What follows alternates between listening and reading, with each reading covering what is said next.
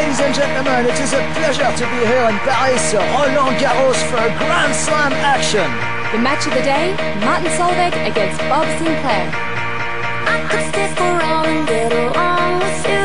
Hello, oh, oh, oh. It doesn't really mean that I'm into you. Hello, oh, oh, oh.